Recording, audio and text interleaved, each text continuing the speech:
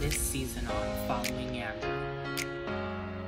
When you grow up on camera, everybody feels like they know you, but they don't.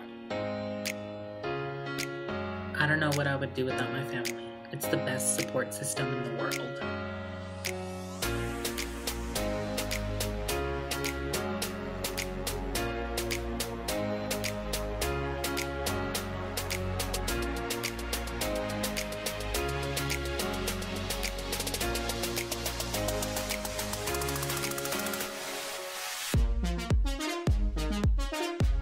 There's an image that I have to keep up with. And then there's me, Andrew.